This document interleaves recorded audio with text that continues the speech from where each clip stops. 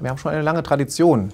Und ähm, ich glaube, dass auch die ähm, Ausbildung in, in Deutschland von den jungen Mädchen schon sehr, sehr gut ist und dass da auch sehr akribisch gearbeitet wird. Und wir auch, ähm, was jetzt in Europa angeht, schon früh erkannt haben, dass es Richtung Professionalisierung gehen muss und die Vereine immer, immer weiter professionalisiert werden. Wenn ich zum Beispiel überlege, was ich, ähm, als ich 2008 angefangen habe in Wolfsburg, welche Bedingungen wir damals äh, vorgefunden haben und wie wir jetzt arbeiten, das hat sich enorm entwickelt.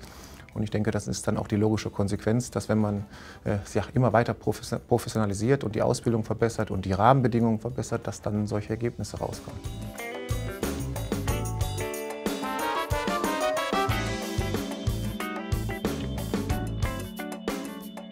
Nein, absolut nicht. Es ist ähm, so, dass wir zwar in diesem Jahr auch noch wieder deutscher Meister werden können. Wir stehen ganz gut da in der Tabelle, sind im Viertelfinale in der Champions League.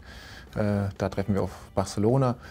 Und ähm, wir können auch dieses Jahr wieder sehr erfolgreich ähm, ja, das Jahr abschließen. Aber einen Triple zu wiederholen, ähm, ich glaube, das wird so schnell äh, keiner deutschen Mannschaft gelingen, weil da muss wirklich alles passen. Und es sind ähm, wirklich ähm, ja, besondere Momente, gerade dass man äh, in der Regel, wenn man dann in der Meisterschaft spielt und dann äh, die englischen Wochen hat, dass dann immer irgendwo die Konzentration auf der Strecke bleibt, dass man vielleicht dann doch mal einen schlechten Tag hat und das reicht bei der Dichte in der Bundesliga, dass man dann vielleicht nicht deutscher Meister wird oder im Pokal äh, ausscheidet. Von daher ist ein Triple was etwas Außergewöhnliches und äh, ich denke, da, da, es wird lange keiner deutschen Mannschaft gelingen, das zu erreichen.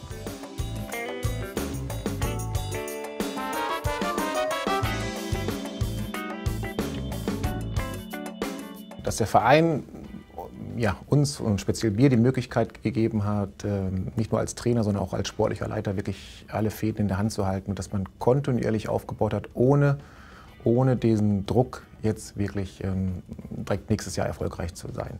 Wir haben jedes Jahr einen Schritt nach vorne gemacht, es gab auch Rückschläge, ähm, aber wir konnten wirklich kontinuierlich aufbauen. Und das Entscheidende ist im Mannschaftssport, dass man diese Zeit auch bekommt dass man auch ähm, sich eine Mannschaft zusammenstellen kann, Spieler entwickeln kann und vor allen Dingen auch, dass man bei den Neuverpflichtungen immer wieder darauf achten kann, dass die richtigen Charaktere dabei sind, dass ein Teamgeist ähm, ja, zustande kommt. Denn ohne, ohne diese mannschaftliche Geschlossenheit, ohne diesen Teamgeist ist, ähm, sind keine Erfolge im Mannschaftssport zu erreichen.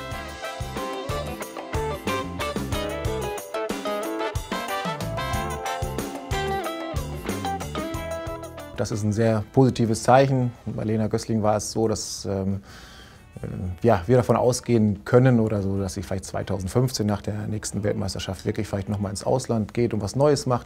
Aber ähm, sie hat von Anfang an gesagt, dass äh, wenn sie bleibt, dann, wenn sie in Deutschland bleibt, dann bleibt sie in Wolfsburg. Und das ist für, für uns äh, ein ganz tolles Zeichen. Und wir haben schon viele ähm, Leistungsträger haben schon längerfristige Verträge und mit den drei, die jetzt noch verlängert haben, sind wir sehr gut aufgestellt.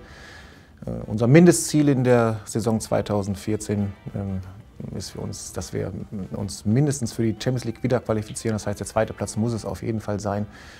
Denn ähm, auch der VW Wolfsburg baut ein neues Stadion für die U23 der Männer und für uns Frauen ein kleines Schmuckkästchen. Und da wollen wir uns natürlich dann in der nächsten Saison unbedingt auch in der Champions League präsentieren.